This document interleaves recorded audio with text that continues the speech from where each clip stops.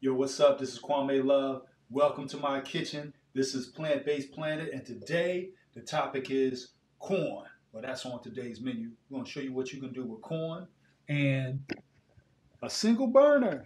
All right, check us out.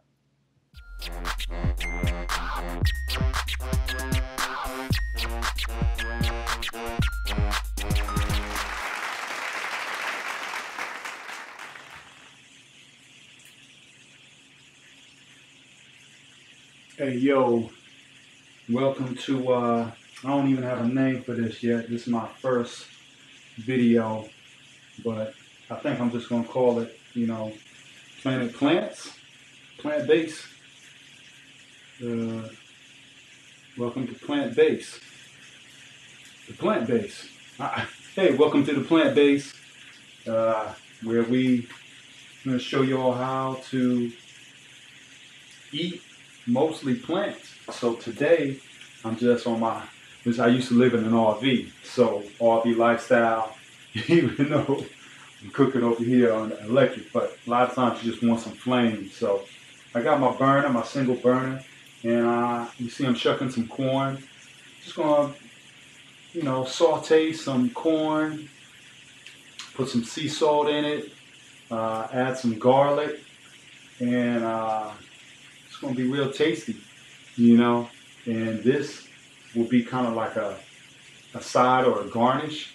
You can garnish your other meals, you know, if you got some jasmine rice, you know, some spinach, some, some type of greens.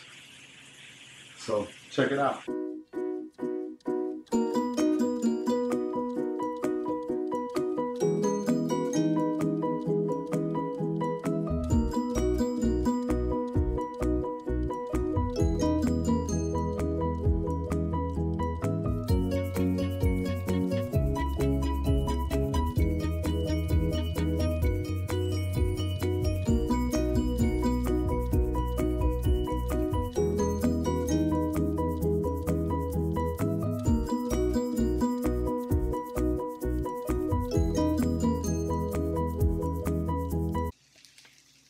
Right, so this is what our corn is looking like.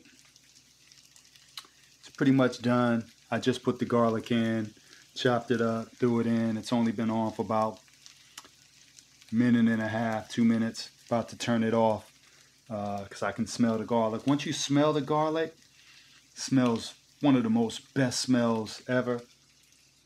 For me, that's when it's done.